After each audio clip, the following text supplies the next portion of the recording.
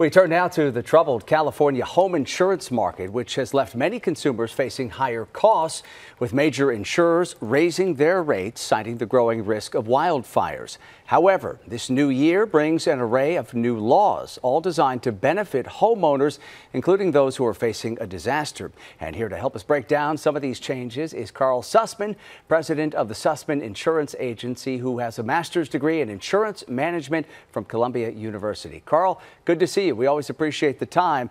So we're starting off uh, this year, and we have a lot of new changes to insurance regulations in California. We'll start with one of the changes here. Insurance policies can no longer limit a payment to a homeowner who decides to rebuild a fire damaged home in a new location. What has changed here and why is this so significant?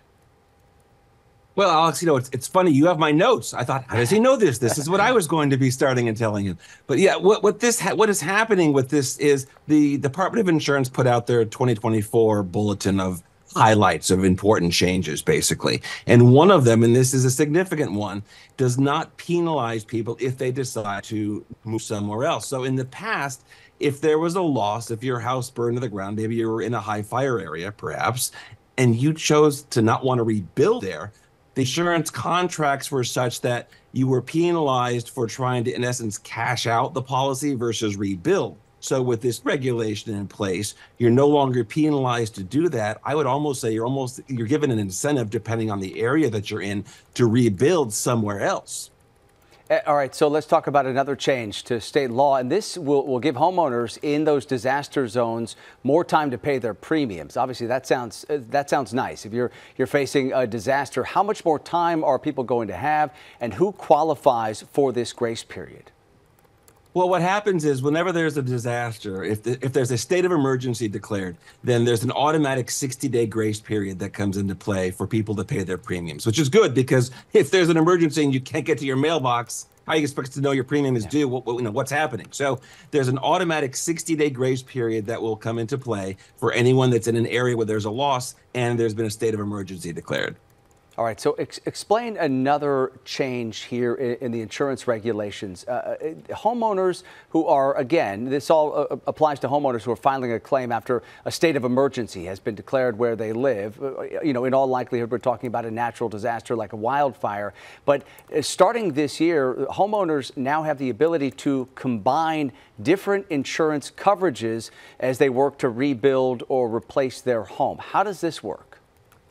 This is huge this is huge. One of the biggest frustrations in, in the insurance business when it comes to property is replacing is, is, coming up with the correct replacement value, right? How much do you insure the house for, right? And insurance policies will have certain limits for the structure, for the other structure, and there's there's you know lines that go down.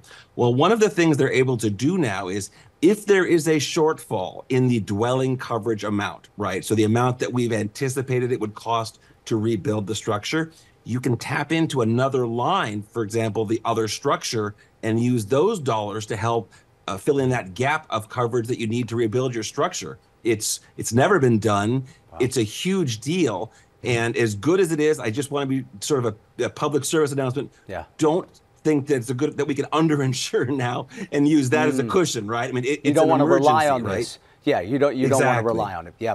Um, all right, let me ask you here too about how all of these new regulations that have been put in place this year for the insurance market uh, are going to speed up the process of filing a claim for someone whose home is damaged or destroyed during a natural disaster tremendously. I was actually shocked. I, mean, I'm a I'm a nerd, right? This bulletin came out with 30 some odd points on Friday afternoon. I thought, oh, my weekend, it's it's going to be go. great. Your weekend's and all I filled up, reading right everything. Yeah, and it's it, and, and, I would say half of it, mm-hmm. uh, the insurance commissioner has set out giving strict guidelines on claims and how long an insurance company can spend before it has to give an update on a claim, how much money they have to pay out immediately for living expenses if somebody has to move out how quickly they have to give notice if they're changing an adjuster. If they change adjusters more than once, they have X number of days. They have yeah. to give a full summary to the client. So lots of good stuff in there for that. Yeah, everything to move the process along more quickly. Finally, Karl, as long as we have you here, let, us talk about a big piece of news that came out this week.